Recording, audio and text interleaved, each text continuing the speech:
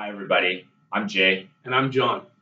And we're here to talk about a fun little exercise we're going to do over the coming year uh, to spice up policy advocacy research um, in the Chamber network and hopefully with our members. We're going to engage in a process, really more of a competition, isn't it, Jay? It is going to be a bit of a competition, yes, I believe so. Uh, to determine, to find some new research, uh, develop uh, a better understanding of an emerging policy issue that's going to affect businesses over the next 5, 10, or 15 years. And uh, in the process, we're going to have a little fun and hopefully uh, create some great value for you as chamber members. It is going to be a lot of fun. So I think uh, a bit of background on the type of issues we're looking for. We're looking on things that are going to affect business in Alberta or the business environment in Alberta. Things like is water a commodity? Uh, a high speed rail from Edmonton to Calgary. Things that are, uh, you know, there might not be a lot of good research on, or certainly not business backed research on. Uh, and we're hoping that by engaging this process, getting chamber members involved and, and volunteers for to be on a team, there's going to be some with me and some with Jon, uh, that we can elevate the dialogue on this issue and hopefully then chambers can use that research to maybe develop a position if their members feel that's important.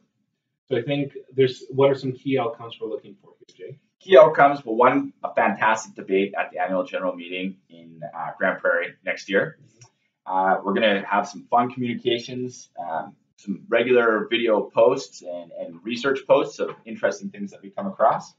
Uh, and hopefully, we're going to get some good engagement with our members, maybe some personal interviews, interviews with experts, uh, things that chambers can draw on or share with their members um, to engage around this issue. So we need some things from you as chamber members over the coming month. Before Political Action Day, we're looking for suggestions on what those potential issues are going to be that we're going to research. So between now and November 24th, we would like you to submit your ideas for questions. If you look on your tables, you'll probably have seen a little card with our faces on it. That's got some suggestions of the type of issues we're looking for, as Jay's already mentioned a couple of them. But we really want to hear from you. At Political Action Day on November 28th, we're going to select one of those issues uh, along with your help. In addition, we're looking for some team members, volunteers. Volunteers, yes. Oh, and there's one other very important thing to any competition, which is going to be uh, the punishment. One of us is going to have to receive a punishment at the end of this process.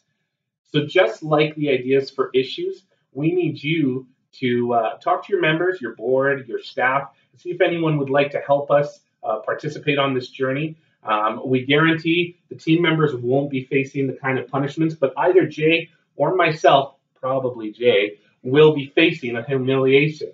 So we need your ideas on that a fun, appropriate, but a pretty good uh, punishment for the loser. 10, 10 things, for example, that one of us should wear his My Little Pony sweatshirt for those of you who are familiar with uh, his gift at our last AGM, uh, or two, should I say, ago, actually, in Red Deer. Um, it's fun. Only one of us can fit in that sweater. So trust the team members. You won't. I don't even think that's a punishment. It's true. It's a very stylish sweater. It's a very stylish sweater. Yeah. It is an excellent sweater. So we hope that you, if you have questions, ask them. But hope that you get involved over the coming month and throughout the rest of the year. Stay tuned for more information coming out in the next week or two, along with the materials and follow up from fall board meeting.